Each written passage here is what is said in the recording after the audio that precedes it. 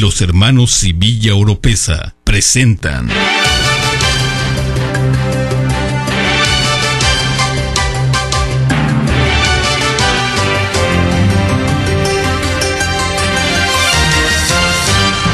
Son las 7 en punto de la mañana y esto es el reportaje edición 19670.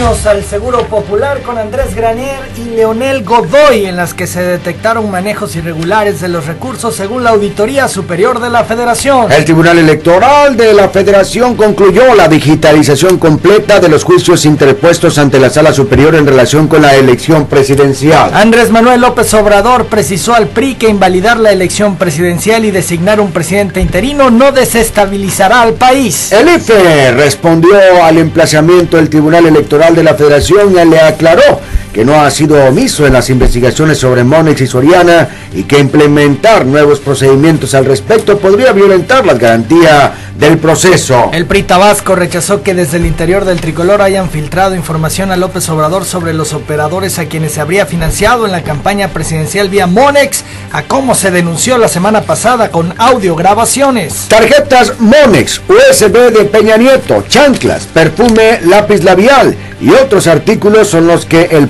Informó ha recibido en el Museo del Fraude que instaló en el Parque Juárez. También jóvenes de la sociedad civil instalaron en el Parque Juárez una mesa informativa para continuar con las acciones que Andrés Manuel López Obrador realiza a nivel nacional. El 30 de agosto, el Tribunal Electoral de Tabasco terminará de resolver las 70 impugnaciones que se presentaron de la elección.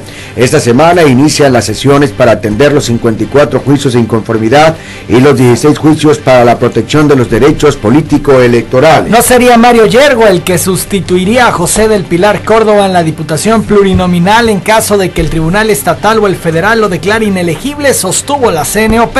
Conclave de alcaldes en el PRI. Ayer cuatro de los diez ediles del tricolor se reunieron con el dirigente del partido, Francisco Herrera. Con hermetismo aseguraron que fue un encuentro solo para saludarse. Y no lo citarán. El IEPC descartó llamar al expresidente Alfonso Castillo o al exdirector de administración Carlos Íñiguez para que expliquen por qué aprobaron comprar un edificio infuncional. Además, el IEPC también contempla la opción de qué hacer con el edificio si no logran rescindir el contrato de compraventa que se investiga hasta dónde llega la responsabilidad de Alfonso Castillo en la compra del edificio del IEPC, pidió el PT.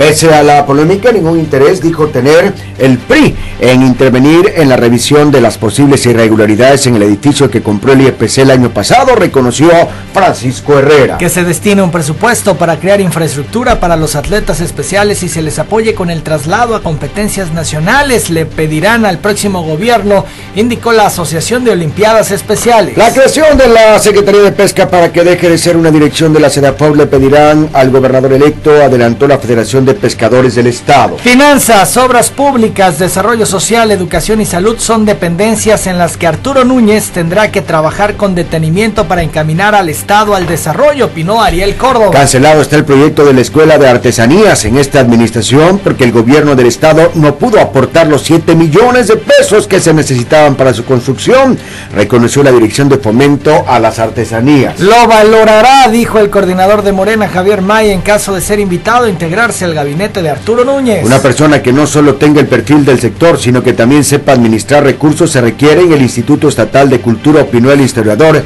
Geneito Ruco. A unos meses de que concluya la administración estatal, la Secretaría de Seguridad Pública prometió que se instalarán cámaras de vigilancia en la zona luz ante los asaltos que se han registrado. La Cruz Roja llamó al centro SCT a revisar el eliminar los árboles del camellón de la carretera Villahermosa Cárdenas porque son causa de muertes de automovilistas y a los ecologistas los convocó a no oponerse. A través de un comunicado, los consejos de administración del Transbús lamentaron lo que consideran una campaña mediática de desprestigio contra socios, trabajadores y choferes del sistema y que según ellos encabeza Laires Carrera de la Unión Arbit. El precio del maíz se disparó 50% en el último mes por la sequía que afecta a Estados Unidos, al rebasar por primera vez en su historia la barrera de 8 dólares por Bushel en los mercados internacionales. Vengan ahora ahora los deportes. Aida Román pasó a los octavos de final en tiro con arco individual tras vencer a la participante de India, David Lesham. El yucateco José Lino Montes tuvo una actuación histórica para la alterofilia en, México en los Juegos Olímpicos,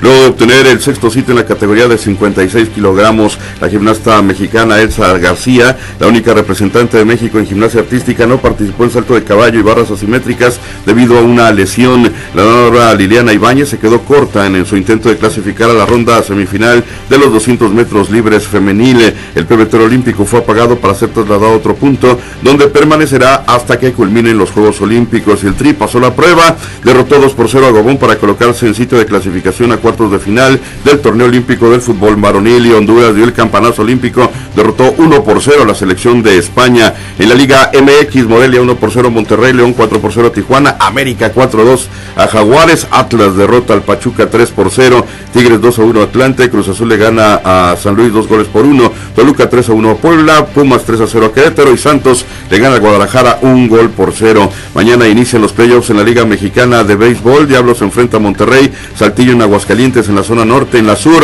Oaxaca visita Tigres y Olmecas a Veracruz. El béisbol de grandes ligas allá en Medias Rojas de Boston ganaron 3 a 2 a los Yankees de Nueva York con victoria para el Patón Aceves. Angelinos derrotó 2 a 0 a los Mantarrayas de Tampa Bay. Los cerveceros de Milwaukee cayeron en duelo de carreras 11 carreras a 10 ante Nacionales de Washington. En la Liga Tabasqueña de Béisbol, Reforma está en la final. Le ganó los dos juegos a Cunduacán. Mientras tanto, el próximo domingo, Paraíso eh, estará jugando el definitivo ante la selección de Centla y Luis Hamilton ganó el Gran Premio de Hungría. Sergio El Checo Pérez llegó en el lugar 14. Telereportaje.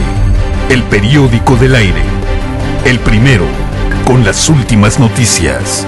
Buenos días Villahermosa, buenos días Tabasco, buenos días Chiapas, buenos días Veracruz, buenos días Campeche, buenos días Yucatán, buenos días México.